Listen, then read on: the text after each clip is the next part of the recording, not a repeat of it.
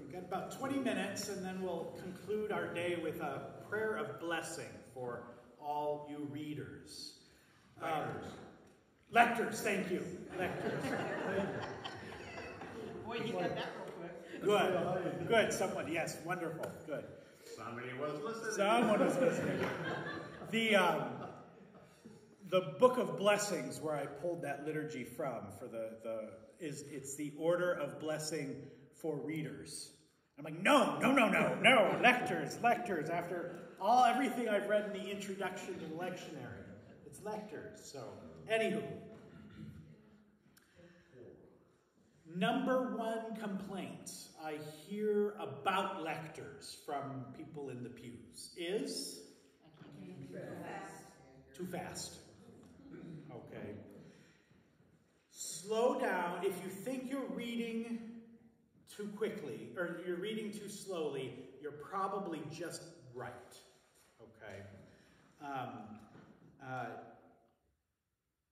and pausing and rhythm can help you read or can help you proclaim in a more effective manner. Pausing and rhythm can help you slow you down a little bit more.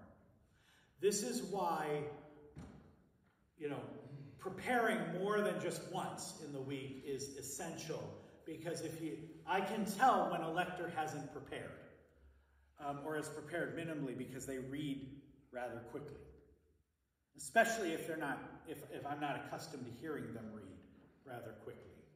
Okay, when we're not familiar with the reading, the faster we read. Okay?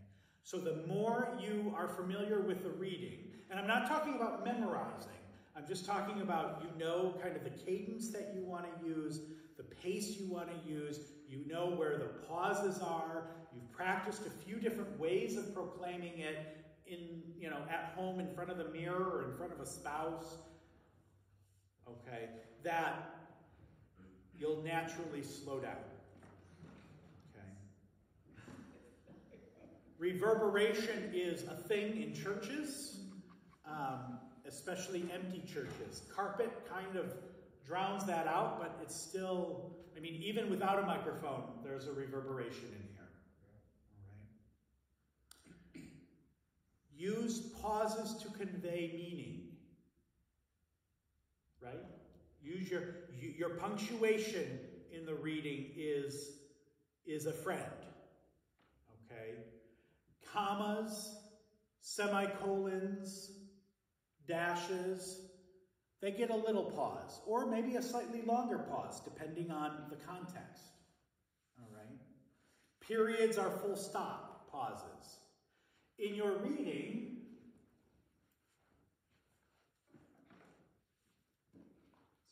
kind of hard to see,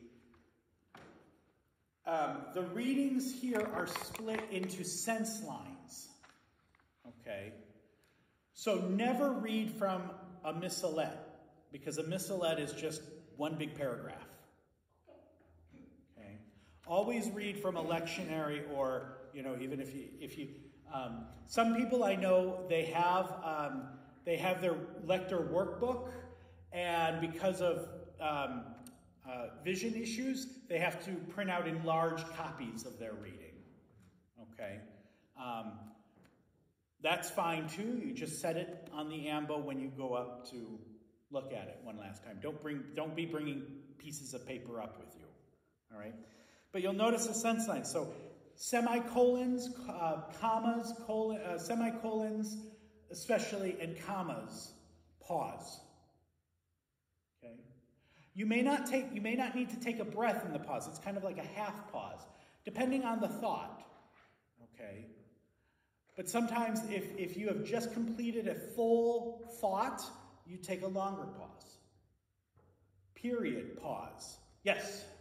So, one of the ways I've learned to aid with that is period, full stop, look up at the congregation. So, I made a point. Our Lord Jesus Christ said, and move on. And leave. Yep. Okay. That's good.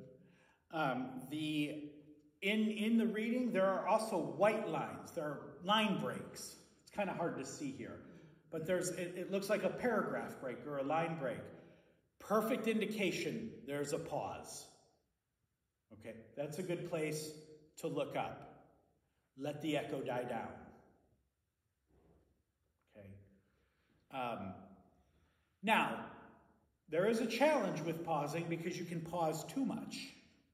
And so then, if you pause too much, the reading becomes stilted and it loses, it loses its power because it's not connected. So, an example of that the Lord God opens my ear that I may hear, and I have not rebelled, have not turned back. I gave my back to those who beat me, my cheeks to those who plucked my beard. My face I did not shield from buffets and spitting. So I paused at the end of each line, but that was, you notice how that was too much? The reading started getting stilted. Okay? So sometimes when you come to the end of a line, you just continue. There's no punctuation and you just continue. Just read it like it, you should read it. Give us an example. I really like to. Gave you the bad exam? Well, how, how about you, Retha? I don't like it that much. Who would like to practice? Uh, now, now you've not seen this reading, so if anyone wants to try it, just with pausing and pacing. Come on, yes.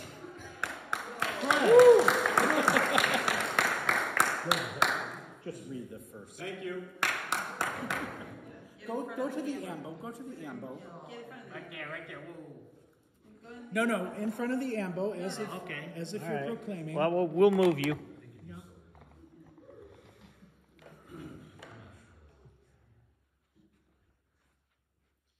The Lord God opens my ear that I may hear, and I have not rebelled, have not turned back.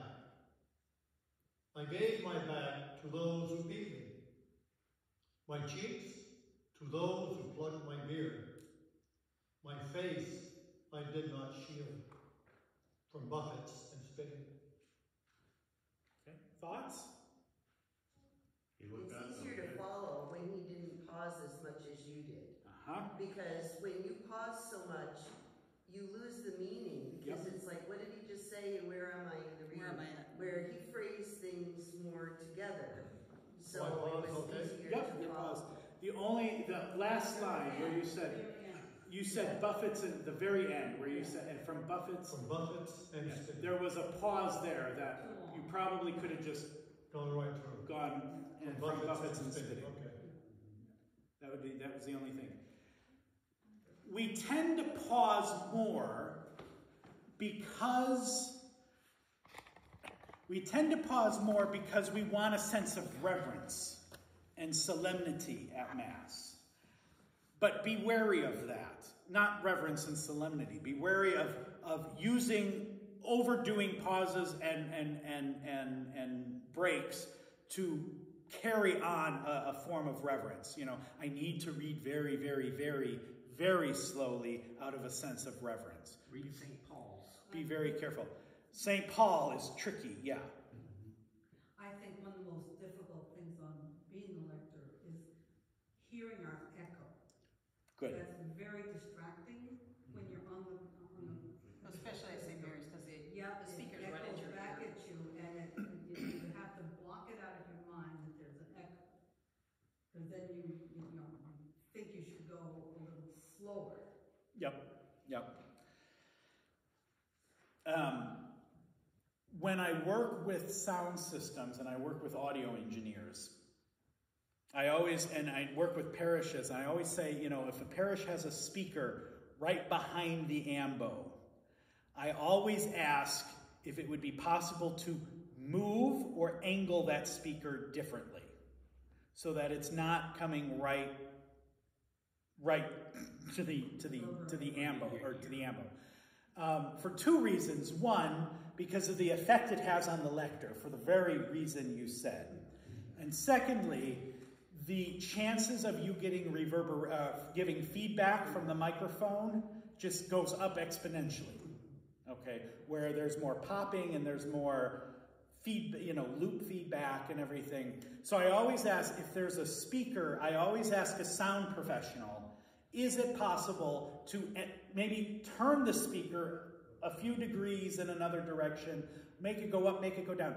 Sometimes the answer is yes, sometimes the answer is no, depending on the space. So if there is a speaker behind, first of all, maybe that's something that can be checked. Is, is it possible to, to do something with the speaker behind? That would, you know. But then also, if you, you know, be aware of the speaker behind you, okay? And the loudness that you're hearing is not what, it does not translate out to what the assembly is hearing. The speaker at St. Mary's is right by the ambo, it's right there. It's, Yeah, I and, think it- and I know what they're saying, and you can hear it, but when we're sitting behind, like, like we're up on the side altar, you know, when, I can hardly hear them sometimes. Yeah. So, Yeah. it just depends on how it is. So just be aware, I mean, Don't go up your, your hearing aids out. Yeah, be aware, you know, know where the speakers are. Be aware of that. Okay, yeah, be aware of that and adjust your vocal energy accordingly. I want you to start stop thinking about volume, and I've said this before, right? Stop thinking about volume because that's just a think about the energy with which you project.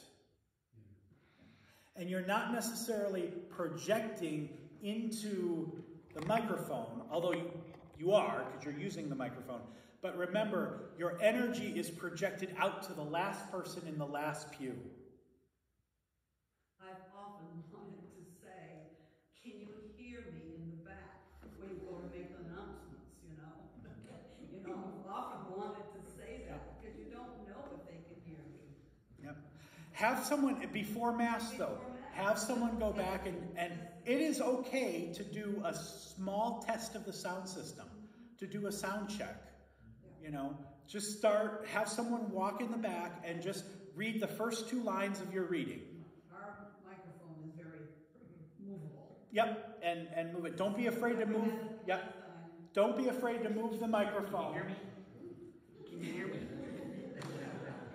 Uh, yeah, don't, whatever you don't, don't do it. test one, two, three. No, don't do that. Just practice the first line or the first two lines of the reading, as because people are praying and whatnot. So you don't want to, you don't want to carry on a conversation. But if you, you know, just read and just get a sound check. Sound checks are perfectly fine in liturgy um, before liturgy begins. Um, it is okay to adjust the microphone. The general, the general point is that your is everyone hands up, hand up, spirit fingers. Okay, that should be roughly the distance. If you have the right vocal energy, that should be roughly the distance between your lips and the microphone. Okay. Now, if you have a very sensitive microphone, you might go a little further out. If you have a microphone that can't pick up worth anything, you might need to go in a little closer. Okay? But this one is roughly the general general consensus. Now, you don't want to be this you can do, you know, this you can do just very discreetly before mass when you check. Don't come up for the first reading and do this. okay? Make that check. And then just kind of eye it because, you know, deacon may come up, you know, before he change. And so you'll need to at least have a general sense of where the microphone was. Okay? So, spirit fingers is roughly the, the point. Microphone typically points directly to your mouth. However, if you have a tendency of popping peas, go slightly over, go slightly o- go I'm sorry, slightly under. Point it towards your chin so the air goes over the microphone, not into the microphone. Okay?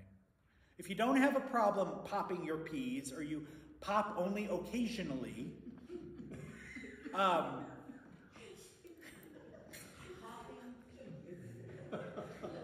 is it two o'clock yet? okay, it's almost two.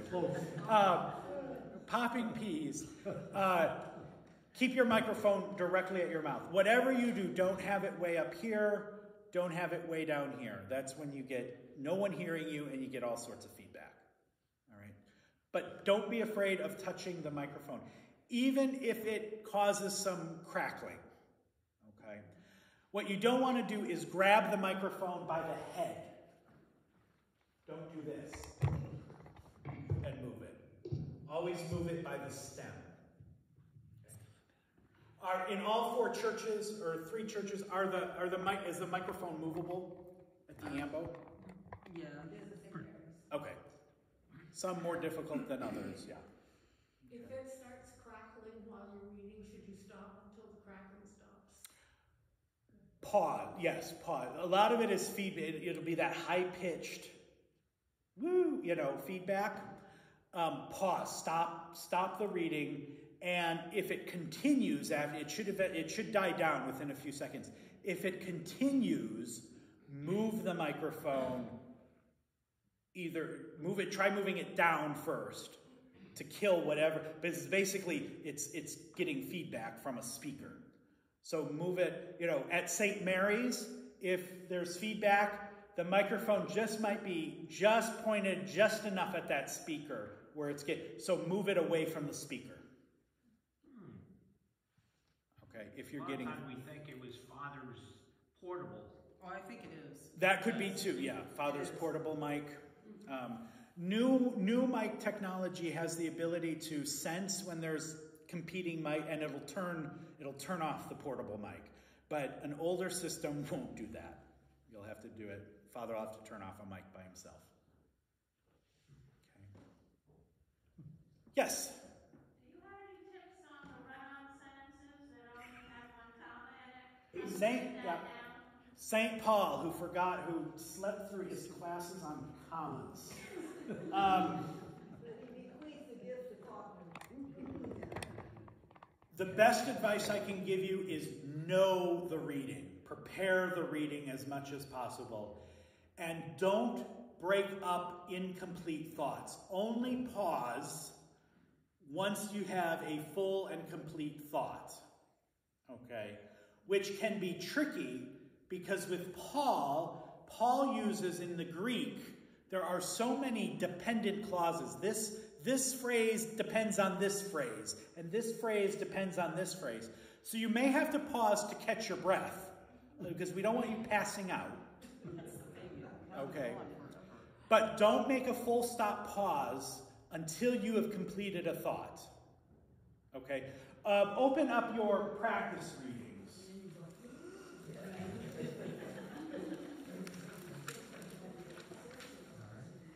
Practice reading number three.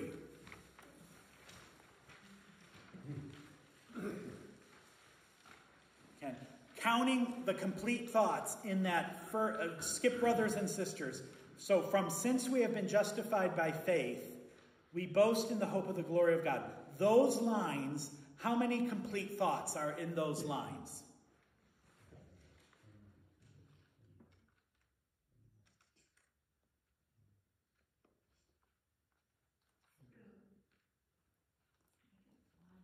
I have three. I have five. Seven. In both, you, include, Complete thoughts. yeah, but I see it. In the in the first from since we have been justified by faith, and then end at we boast in the hope of the glory of God. One. We have one.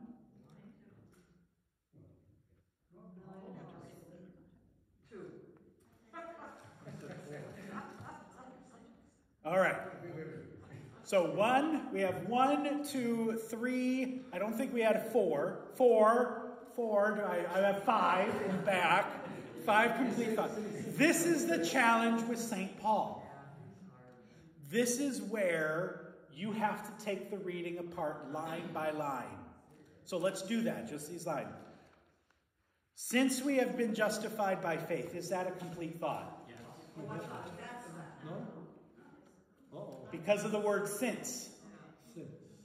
We need, if it were just, we have been justified by faith, that would be a complete thought. But Paul, we have since we have been just, we're waiting for more information. Since we have been justified by faith, we have peace with God through our Lord Jesus Christ. Complete thought. One complete thought. Okay. Through whom we have gained access by faith. Is that a complete thought? No, that is connected to to this grace in which we stand. So, so then you have two. So, through whom we have gained access by faith to this grace in which we stand. Is that a complete thought? No, no, Why? Which we stand. because he's talking about the faith. Is he? He's talking, He's talking he's about talking about the previous, no. Lord, our Lord Jesus Christ, through whom we have gained Yes. access by faith. So all that refers to our Lord Jesus Christ. Yes. So, right now we still have one thought. Since we have been justified by faith, we have peace with God through our Lord Jesus Christ, through whom we have gained access by faith, because that goes back to Jesus Christ, to this grace in which we stand, okay, which talks about what faith does. So we got one, one complete thought, and we boast in the hope of the glory of God. Yep, go ahead. But you, you, you have to pause differently than just That's right. those two. You can't get all those words out. No, because if you if you pa- if you just try to what I'm take saying, we shouldn't pause, we should only pause at the end of a complete thought. Right. So you should only pause fully at the end of a complete thought. If you need to take a breath, which you will, okay, um, and you have commas, commas in there. So your commas would tell me because your commas come in the midst of in the midst of completing that thought. They don't come at the end. It's not a semicolon. They come in the middle of that thought. That your pause is not a full stop pause. Okay? Your full stop you have one full stop pause where you stop and let the thought sink in. But you have multiple, multiple smaller pauses in between. So, how would you read that? Just go ahead. How would you read that? Given that it's two full thoughts. Brothers and sisters, since we have been justified by faith, we have peace with God through our Lord Jesus Christ, through whom we have gained access by faith to this grace which we stand, and we boast in hope of the glory of God. You used a technique of word emphasis. Your word emphasis helped keep thoughts together, it helped connect them, okay, while slowing you down and not blurring everything together. All right. The only, the only modification I would make in that proclamation, not to say that the only way I would say, I would kind of read that, but I would pause before saying, and we boast in the hope of the glory of God, to let that, set that apart a little bit more. So, since we have been justified by faith, we have peace with God through our Lord Jesus Christ, through whom we have gained access by faith to this grace in which we stand. And we boast in the hope of the glory of God. Two thoughts. Brothers and sisters. Oh, brothers and yeah. I said omit brothers and sisters. Whew. It's hard to read him sometimes because it's like, Yeah, I've read Paul it. is Paul is crazy. Yeah. All right. Anything else? We're going to conclude with a little prayer here. All right. Would one of us or two of us care to read? Or three of us? We can do three readers. One, two, three. Okay, so I have the readings here. So if you would take the first reading here from Timothy. Okay, do it up there. Uh, it the pulpit, yep. And then second reader will have the responsorial psalm right afterwards. And then after the blessing, or before the blessing, there'll be, I'll cue you when to go up for the intercessions. I don't want to get a chance to read it before I. Yes. Yeah, go ahead. All right.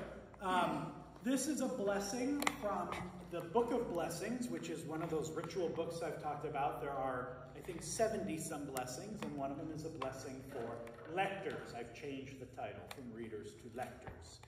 Um, it involve it, it does include a reading from the Word of God, a little introduction, and then the intercessions, and then to conclude the intercessions is a prayer of blessing. So um, we'll give everyone a chance to look at the reading and the psalm, um, but we'll um, you know we'll have Deacon lead it, and um, we'll just stand for the beginning, um, sit for the readings. We don't have to stand now. We'll give everyone a few moments, and then stand for the intercessions and blessing, and that'll be it. Do we want to sing a song? Sure. We haven't got Rosemary. Do we have hymnals? Yeah. What do you need? Let's. Um,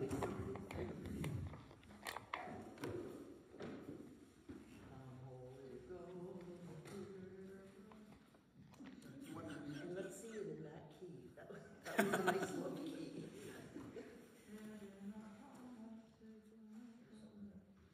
What are you looking for? where is the? I use this book all the time. I'm Right here, looking, looking for the index at the end. Nine fifty-one. 951. Okay, that's the index. What are you looking for? We're just reviewing. Um, does, do you want to review the responsorial? Song? Who's, who's reading? Oh, your responsor. That's the second page, and do you want to look at it very quickly? Somebody's doing the prayer of the faithful.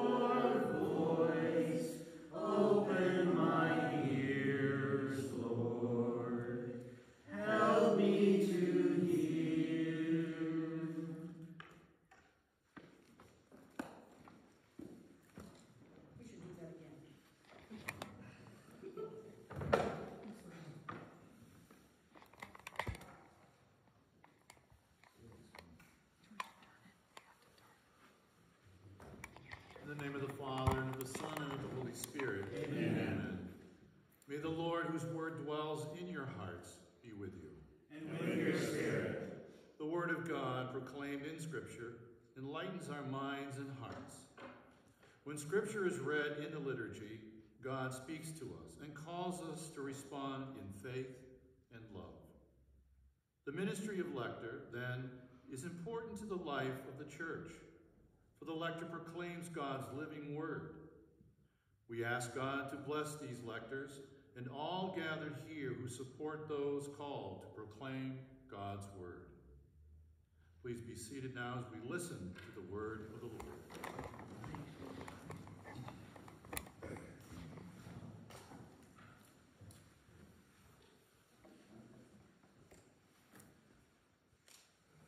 A reading from the second letter of St. Paul to Timothy.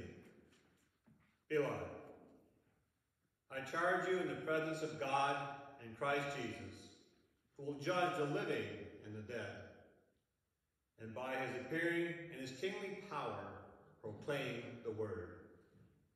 Be persistent, whether it's convenient or inconvenient. Convenience, reprimand, encourage through all patience and teaching. For the time will come when people will not tolerate sound doctrine, but, following their own desires and insatiable curiosity, will accumulate teachers and will stop listening to the truth and will be diverted to myths. But you, be self possessed in all circumstances. Put up with hardship, perform the work of an evangelist, fulfill your ministry. The word of the Lord. Thanks be to God.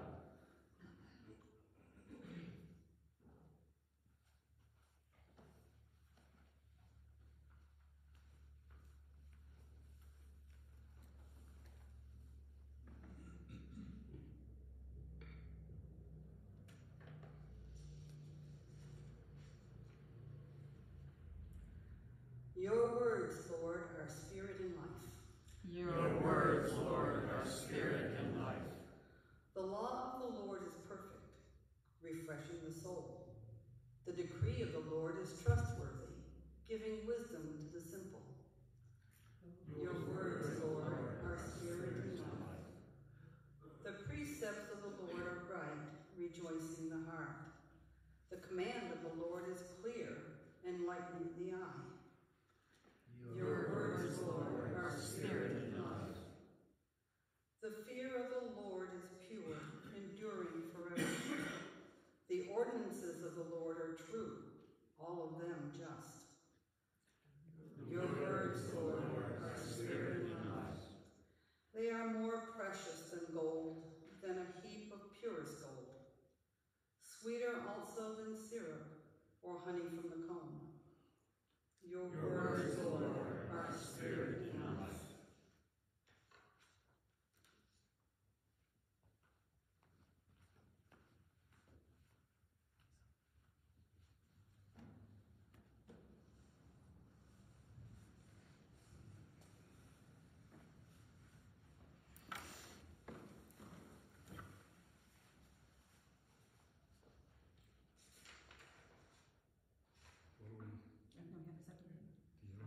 No second reading, yeah, intercession, you have the intercession.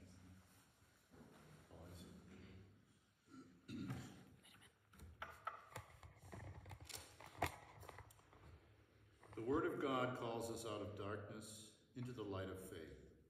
With the confidence of God's children, let us ask the Lord to hear our prayers and to bless these readers. For the church, that we may continue to respond to the word of God, which is proclaimed in our midst, we pray. Lord, hear our prayer. For all who listen as the scriptures are proclaimed, that God's word may find in them a fruitful field, we pray. Lord, hear our prayer. For those who have not heard the message of Christ, that we may be willing to bring them the good news of salvation, we pray. Lord, hear our prayer. For the church, that we may continue to respond to the word of God which is proclaimed in our midst, we pray. Lord, hear our prayer. For the lectors of our churches, that with deep faith and confident voice they may announce God's saving word, we pray. Lord, hear our prayer.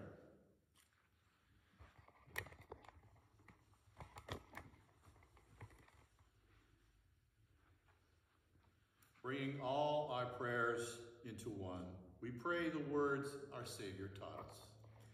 Our Father, who art in heaven, hallowed be thy name. Thy kingdom come, thy will be done, on earth as it is in heaven. Give us this day our daily bread, and forgive us our trespasses, as we forgive those who trespass against us. And lead us not into temptation, but deliver us from evil. Everlasting God, when he read in the synagogue of Nazareth, your son proclaimed the good news of salvation, for which he would give up his life. Bless these lectors as they proclaim your words of life. Strengthen their faith, that they may read with conviction and boldness and put into practice what they read. We ask this through Christ our Lord. Amen. May the word of God in all its richness dwell in your hearts and minds, now and forever. Amen. And may Almighty God bless you in the name of the Father, and of the Son, and of the Holy Spirit. Amen. Go in the spirit and love of Christ. Thanks be to God. Amen. Amen. Well, thank you, everyone. I hope this was fruitful for you. And um, as as uh, got the last minute, last last camera look, uh, as as Deacon uh, prayed over us, proclaim with conviction and boldness in your ministry. God Thank bless you. you. Thank you, Josh.